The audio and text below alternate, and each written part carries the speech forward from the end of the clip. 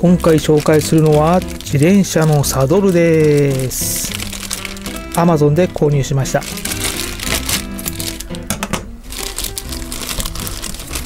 じゃじゃじゃーん。どうです？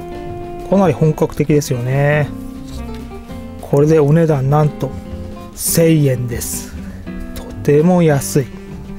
なのでまあ失敗してもいいかなと思って買いました。最近自転車で長時間乗ってるとお尻がすごい痛くなるんですよね。この穴がポイントですかね。通気性なのかそれともお尻の穴が接しないようになっているんですかね。では実際に自転車につけてみます。これがポケモン GO です。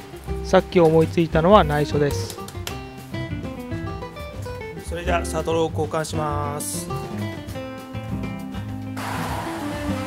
このナットを外します。13mm です。結構大きめですね。裏にもあります。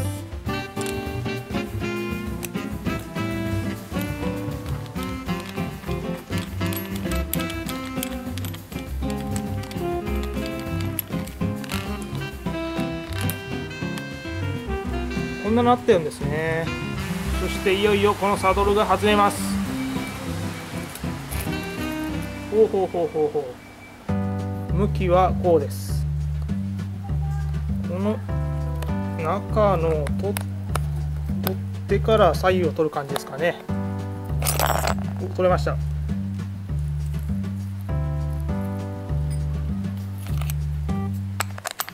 おお私これ外すまでここにでっかいこう円柱がついてるのかと思ってました。取ってみるとこうシンプルなんですね。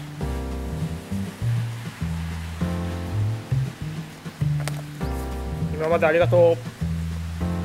そして次にこれをはめます。新しいやつですね。さっきと同じような感じにしてはめます。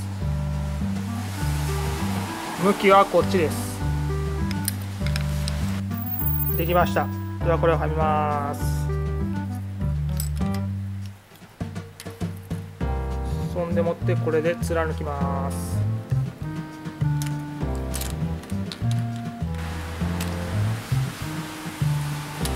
ここは前後で調整できるんですね。メモリがついてます。ただどこがいいのかは分かりません。走ってみないと分かんない感じですね。とりあえず真ん中にしておきましょう。ここでいきます。これをはめて最後にナットで締めます。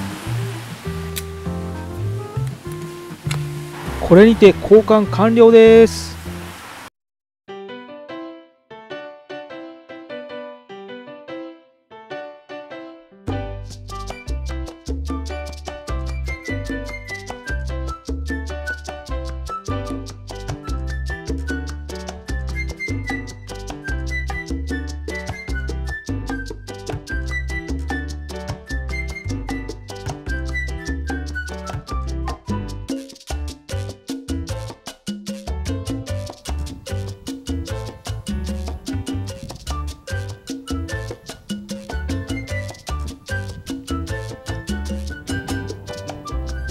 クッション性十分です。